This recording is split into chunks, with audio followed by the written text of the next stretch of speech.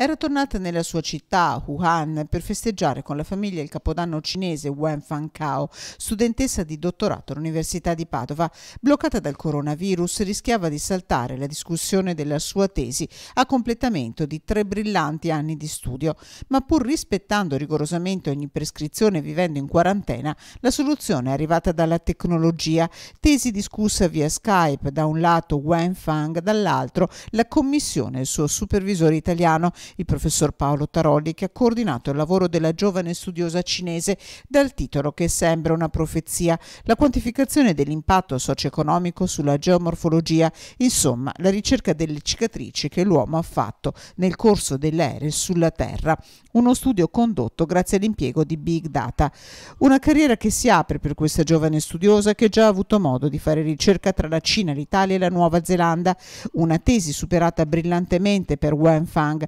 salutata dal rettore Rizzuto come segnale di speranza di forza d'animo e di vicinanza al popolo cinese.